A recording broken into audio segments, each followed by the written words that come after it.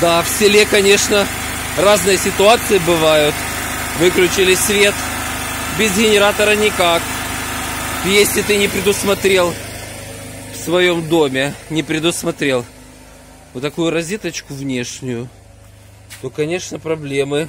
Без света сидеть целый день э, будут у всех. ДТЭК, конечно, старается, но почему-то свет выключают. Выключают свет и без генератора никак. Хороший генератор. Я доволен, уже два сезона отпахал. Ну, да, нужно, вещь нужная. А также, конечно, в селе не обойтись и без стабилизаторов. Вот три фазы, стабилизаторы стоят у меня.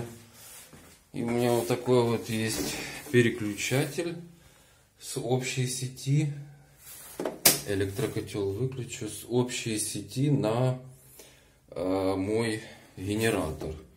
Вот я в нейтральное положение ставлю и включаю генератор. Сейчас вот тут у меня включатся стабилизаторы. Я могу переключить эти стабилизаторы из режима Stop Stabilization, либо же Bypass. То есть без стабилизации напрямую с генератора я включаю. Включаю одну фазу. Включаю другую фазу. Включаю третью фазу. Так, все окей. Ну, теперь я буду и с водой, скважина тоже будет работать двигатель. И с интернетом, и с телевизором. Естественно, отопительные приборы выключаются на это время. Ну, газовая колонка, газовый бойлер, конечно, будет работать. От этих стабилизаторов все прекрасно будет работать.